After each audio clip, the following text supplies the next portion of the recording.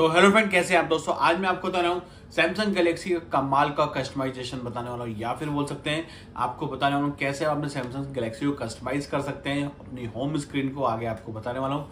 आगे बढ़ने से पहले मेरे चैनल को सब्सक्राइब कर लो नोटिफिकेशन बेल को दबा दो, ताकि ऐसी नई अपडेट आपको सबसे पहले मिलती रहे। तो चलते हैं दोस्तों आगे, मेरा नाम सनी और आपका स्वागत है मेरे चैनल ऐसे टेक में। तो दोस्तों, जैसा कि बताया, मैं आपको बताने वाला हूँ होम स्क्रीन कस्टमाइजेशन तो सबसे पहले जो कस्टमाइज है वो ये है।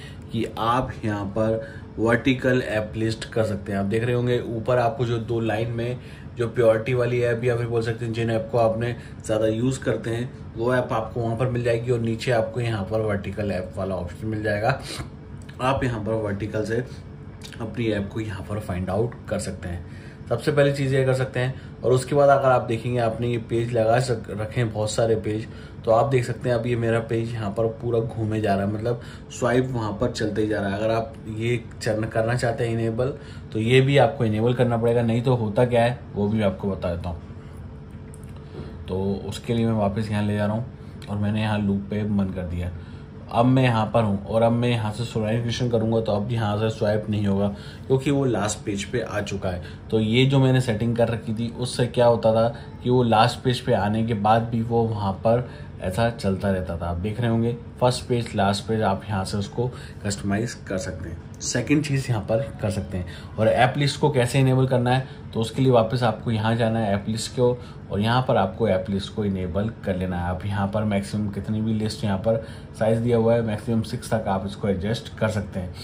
तो इस फीचर को आपको इनेबल करने के लिए आपको करना क्या होगा? सबसे पहले आपको अपने मोबाइल में गुड लक ऐप को इंस्टॉल कर लेना है। गुड लक ऐप के अंदर वहाँ पर आपको मिलेगा होम अप वाला मॉड्यूल आपको दिख रहा होगा, आपको उसको इंस्टॉल कर लेना है। होम अप वाले मॉड्यूल में जाने के बाद आपको जाना है होम स्क्रीन पे।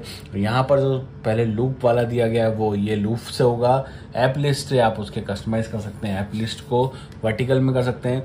उसके ऊपर आपको दिया गया है फोर बाय सिक्स का ऑप्शन मतलब कि जो एक रो में आपके कितनी ऐप्स दिखे? लाइक आप चाहते हैं कि ऐप रो में मेरी बहुत ज़्यादा ऐप दिखे, जैसे कि मैंने सेवन इंटू सेवन कर दिया और इसको ऐड कर दिया, ठीक है?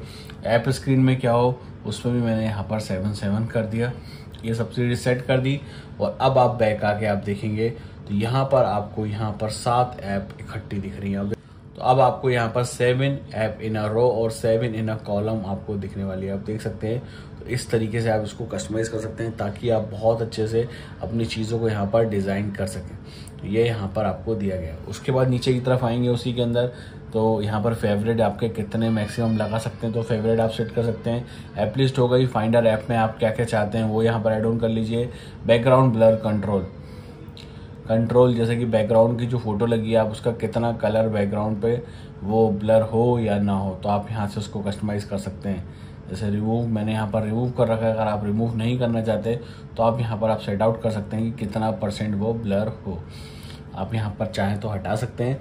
नीचे की तरफ़ आएँगे, आपको मिलेगा बैकग्राउंड कलर कंट्रोल तो बैकग्राउंड का जो कलर है, उसको कैसे कंट्रोल करें या बोल सकते हैं, उसके कलर को कैसे आप उसको मैनेज करें तो आप यहाँ से बैकग्राउंड के कलर को यहाँ पर आप मैनेज कर सकते हैं। ये भी आप यहाँ पर सेट आउट कर पाएँगे।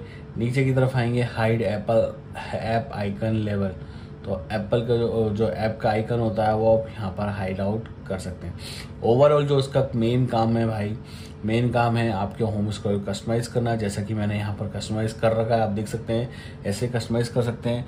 नहीं तो अगर आप इसको वर्टिकल में करेंगे तो और अच्छे से आपको यहाँ पर समझ में आएगा, जैसे कि मैं यहाँ पर आऊँ और मैंने इसको वर्टिकल में कर लिया कर लिया।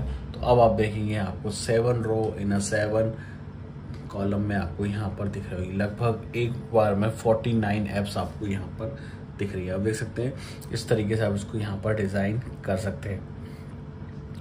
उसके बाद इसी में वापस आएँगे। यहाँ पर आपको फोल्डर का ऑप्शन मिलेगा। आप यहाँ पर फोल्डर बना सकते हैं, फोल्डर को कलर सेट आउट कर सकते हैं। जो भी चीज़ आपको यहाँ पर बैकग्राउंड सेट आउट कर सकते हैं, फोल्डर का। उसके अंदर वापस यहाँ पर आएँगे बैक का ये कोई मतलब का नहीं है। शेयर मैनेजर ये भी कोई मतलब का नहीं है। मेन है आपका टास्क मैनेजर यहाँ पर आप टास्क मैनेजर में इसका ही यहाँ पर सेट आउट कर सकते हैं। जैसे कि पहले की अगर आप देखेंगे तो पहले मेरे पास ऐसे ही यहाँ पर दिख रहे हैं।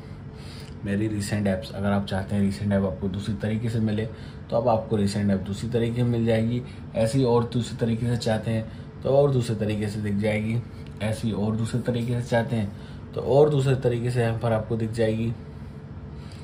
ऐसे और दूसरे तरीके से चाहते हैं तो और दूसरे तरीके से यहाँ पर आप दिख जाएगी। मतलब कि आप यहाँ पर इसको भी कस्टमाइज कर सकते हैं। ये चीज़ भी यहाँ पर आपको दे दी गई है। और आप चाहें तो मिनी मोड भी इसका यूज़ कर सकते हैं। तो यही था होम स्क्रीन ऐप और ऐसे आप अपने सैमसंग गलेक्सी को कस्टमाइज कर सकते हैं। होम स्क्रीन को उम्मीद है कि आपको मेरी वीडियो पसंद आई होगी। तो थैंक यू मुझे उम्मीद है कि आपको मेरी वीडियो पसंद आई होगी। अगर आपको मेरी वीडियो पसंद आई तो प्लीज़ लाइक ज़रूर करें।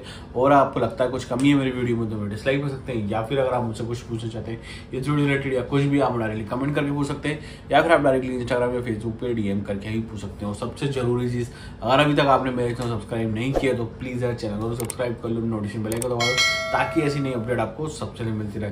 तो थैंक यू